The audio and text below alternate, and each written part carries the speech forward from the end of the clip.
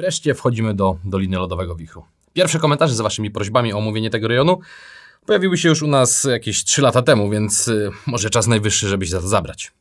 Pytanie, skąd wziął się fenomen tego miejsca? Ciężko jednoznacznie stwierdzić. Może to za sprawą gry Icewind Dale, może dzięki przygodom Drista, a może dzięki kampanii do Dungeons and Dragons, których akcja działa się w tym miejscu. A może wszystko naraz? Nic dziwnego, że dopominaliście się o ten region i oto nadszedł dzień. Możecie sobie go zanotować w kalendarzu, że ekipa to Jagotne wchodzi oficjalnie do Doliny Lodowego Wichru. No i w sumie od wejścia do Doliny Lodowego Wichru zaczniemy. A od strony cywilizacji dostać się tu można tylko jedną drogą, która przebiega przez zachodnie rubieże grzbietu świata, wykorzystując nienazwaną przełęcz. Łączy ona 10 miast lub Decapolis, jak to woli, z leżącym na, południu, y, na południowym zachodzie miasteczkiem Handlestone i biegnie dalej, aż do leżącego nad Morzem Mieczy górniczego miasta Fireshire. Droga ta nazywana jest szlakiem karawan lub szlakiem 10, od 10 miast oczywiście, przy czym kończy ona swój bieg w Brynshander, pierwszym i największym z miast Doliny Lodowego Wichru. Wydostać się z doliny zaś można na więcej sposobów, bo z leżącego w południowej części jeziora Maer Dualdon, płynąca na żakut rzeka Shergain, po kilku kilometrach rozwidla się i wpada do Morza Ruchomego Lodu. Łączy ona leżące nad Maer Dualdon miasteczko Bremen z leżącym u jej ujścia krasnoludzkim miastem Iron Master. Daje to oczywiście możliwość handlu, jednakże mieszkańcy Bremen wiedzą jak niebezpieczny jest to szlak i rzadko z niego korzystają. Za to mieszkańcy Iron Master wręcz przeciwnie. Często można ich spotkać nad rzeką mówiących ryby za pomocą włóczni. Do tego krasnoludy z Iron Master zbudowały sieć akweduktów, która zaopatruje miasto w słodką wodę. I nie ma się co dziwić. Krasnoludy są dość twarde, by przetrwać w tych rejonach. Tam, gdzie człowiek przetrwa tylko, gdy jest naprawdę twardzielem, tam najzwyklejszy krasnolud czuje się jak u siebie w domu. W inne kierunki nie ma co się w ogóle udawać, bo od północy i wschodu Dolina Lodowego Wichru opiera się o lodowiec Rekheda, zaś od zachodu kończy się Morzem Ruchomego Lodu. No ale szlak karawan, czy też szlak dziesięciu, to nie jedyna posiadająca nazwę droga w Dolinie Lodowego Wichru, bo jest jeszcze wschodnia droga łącząca Brynshander z East Haven, czy East Haven, jak to woli. Pozostałe drogi i ścieżki tego regionu widocznie nie zasłużyły na posiadanie własnych nazw. Wspomniałem Wam o leżącym w północnej części doliny jeziorze Maer Dualdon. Jest jednym z trzech jezior, a dwa pozostałe to leżące w południowej części Red Waters i na wschodzie Lac Dinshare. Mieszkańcy opowiadają historię o zjawie zwanej Białą Damą, która nawiedza brzegi Lac Dinshare. My zrzucamy wszelkie tajemnice z tych opowieści i radzimy uważać, bo to Auril we własnej osobie. Dodatkowo musicie wiedzieć, że jezioro Red Waters niegdyś nazywano się The Lone Yone. Ale po tym jak dwie grupy rybaków starły się na nim w ogromnej bitwie na łodziach, z powodu ilości krwi i trupów nazwę zmieniono na bardziej adekwatną. Poza tym w okolicy pełno nienazwanych rzeczek i strumieni, które powiększają się przez lato, gdy okoliczne śniegi i lodowce oddają część swojej wody. I to jest dość istotna informacja. Latem nie jest tu ciepło, zaś temperatury nie da się przewidzieć, bo waha się ona od minus 12 do plus 21 stopni Celsjusza. Zimą zaś osiąga minus 40 i więcej. Dodatkowo wciąż pada tu śnieg, więc zapomnij o ciepłych wakacjach w dolinie. Jak sami widzicie, przeżycie tu nie jest łatwe, zaś warunki nie sprzyjają osobom lubiącym wygody. Dolina Lodowego Wichru to miejsce dla prawdziwych twardzieli. Ludzi, i nie tylko ludzi, którzy nie potrzebują wygód cywilizacji i każde dobro wydzierają z kutej wiecznie, wieczną zmarzliną ziemi. No właśnie. Ziemia Doliny Lodowego Wichru nie sprzyja żadnym uprawom, dlatego tutejsi mieszkańcy spożywają głównie mięso i ryby, zaś wszystko inne muszą sprowadzać. Polowanie i rybołówstwo, a także hodowla przystosowanych do zimna zwierząt, przeważnie reniferów, pozwala napełnić żołądki osób o niewysublimowanym guście żywieniowym. Do tego tutejsze jeziora i rzeki obfite są w całe ławice pstrągów, które często stanowią towar eksportowy i transportowane są poza dolinę w ogromnych beczkach. Przy czym głównym materiałem eksportowym, jak możecie się domyślać, są futra i przede wszystkim ozdoby wykonane z kości wspomnianych pstrągów. Ozdoby z kości ryb?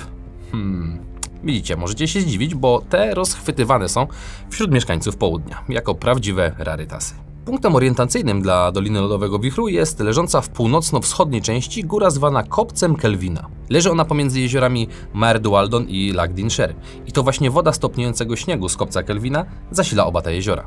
Przy czym góra to takie trochę nad wyraz słowo, bo kopiec Kelvina ma zaledwie trochę ponad 300 metrów. Nie należy sugerować się y, również mapami, ponieważ każda umiejscawia górę w nieco innym miejscu, bliżej lub dalej jezior. Ważne jest natomiast to, że przy jej południowym grzbiecie leży Krasnoludzka Dolina, pod którą znajduje się kopalnia y, rudy, z której krasnoludy do dziś wyrabiają broń, a ta sprzedawana jest w Brynchander. Jeśli słuchaliście historii o mitrylowej hali, wiecie, że to tutaj uciekł Brenor Battlehammer po tym, jak mitrylowa hala została najechana przez cienistego smoka.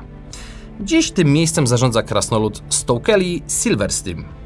Z samym kopcem Kelvina wiąże się dość ciekawa legenda, która ukazuje genezę nazwy kopca. Kelvin był legendarnym królem lodowych gigantów, który przez pewien czas posiadał słynny artefakt kryształowy relikt. Zbudował on królestwo na ruinach dawnego Imperium Olbrzymów, Ostori. Jednakże pewnego dnia czymś rozgniewał boga Tempusa. Nie wiadomo czym, ale tak czy siak niedobrze jest rozgniewać boga wojny. W każdym razie Tempus zabił Kelvina, zebrał głazy z Doliny Lodowego Wichru i przysypał jego ciało kopcem. I tyle. Kolejną ciekawostką jest to, że czarodziej Akarkesel, który również był w posiadaniu kryształowego reliktu, pozostawił jedną ze swych kryształowych wież na szczycie kopca Kelvina. Ciało czarodzieja znaleziono na zboczu kopca, on sam zaś został zjawą, która została przegnana przez grupę awanturników. I tak się składa, że to wy możecie wcielić się w tę grupę w ramach kampanii Rime of the Frost Maiden. Musicie jednak uważać, gdy tu przybywacie, ponieważ w kopcu Kelvina można spotkać werbegi, yeti, a nawet remorhazy. A podobno nawet byłą szamana. Jak już wspominałem, albo i nie, jedyne stałe siedliszcza w Dolinie Lodowego Wichru to 10 miast – o którym podobnie jak o wiosce Kuldahar, więzieniu Revel's End oraz lokacjach leżących w północnej części grzbietu świata opowiemy Wam w osobnych filmach. Zakopana przeklęta wieża, czy też wieża Morienusa została Wam przedstawiona przez szamana w filmie o Wielkiej Odwilży, więc to mamy odhaczone. A dziś opowiem Wam o miejscu zwanym Jarlmut. Miejsce to znajduje się na wzgórzu leżącym na północ o wspomnianej wcześniej rzeki Shiregain. Znajduje się tu siedem ogromnych kamiennych tronów, po jednym dla każdego z jarlów gigancich klanów. Przy czym pod tronem Jarla Jarlów znajduje się, znajdują się ukryte schody prowadzące do pomieszczenia, w którym po rozwiązaniu zagadki znajdziemy skarb. Ale nie będę wam zdradzał szczegółów, gdybyście chcieli zagrać w Rime of the Frostmaiden. Ciekawostką jest zaś to, że podczas każdej pełni duchy Jarlów spotykają się tutaj, siadają na tronach i opowiadają historię bitew, uczt i osiągnięć swojego życia. Z takich ciekawych miejsc nie można też nie wspomnieć o lesie Irladun, który rozciąga się na wschodnim brzegu jeziora Lac d'Insher. I powiecie, co to za wieczna zmarzlina, skoro jakiś tam rośnie lasek? Muszę wam powiedzieć, że to nie jest zwykły las jak już pewno się domyślacie. Został on specjalnie stworzony przez Mieliki, jedną z bogiń natury, która stworzyła go specjalnie dla swego wybrańca Drizda do Urdena i jego towarzyszy. Tam też trafiały dusze zmarłych członków kampanii Hali i były pouczane przez boginię przed reinkarnacją. O tym będzie osobna historia i nim ktoś zacznie protestować, że Drist to tam nie do końca był wybrańcem Meliki, od razu odpowiadam, to prawda. Drist jest, a raczej był kimś w rodzaju czempiona Meliki, aż do momentu, gdy odrzucił tę religię, ponieważ kłóciła się ona z jego osobistymi przekonaniami. Jednak to tutaj przebywały dusze Katibri, Regisa, Wulfgara i Bruenora, którzy tutaj zostali ściągnięci przez boginię, która zaproponowała im reinkarnację, by za 21 lat mogli pomóc Drizdowi do Urdenowi.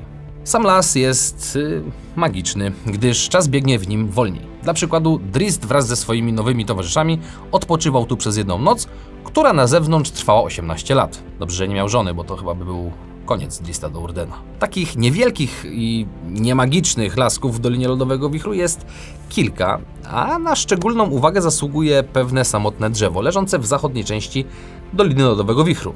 Nazywa się samotne drzewo. Przy czym jego wyjątkowość nie polega tylko na tym, że jest samo na ogromnym obszarze. Znajduje się ono na obszarze znanym jako Morze Ruchomego Lodu i dostać się do niego nie jest łatwo. Nie prowadzi tutaj żadna ścieżka i żeby w ogóle próbować się do niego dostać, najlepiej mieć narty śniegowe.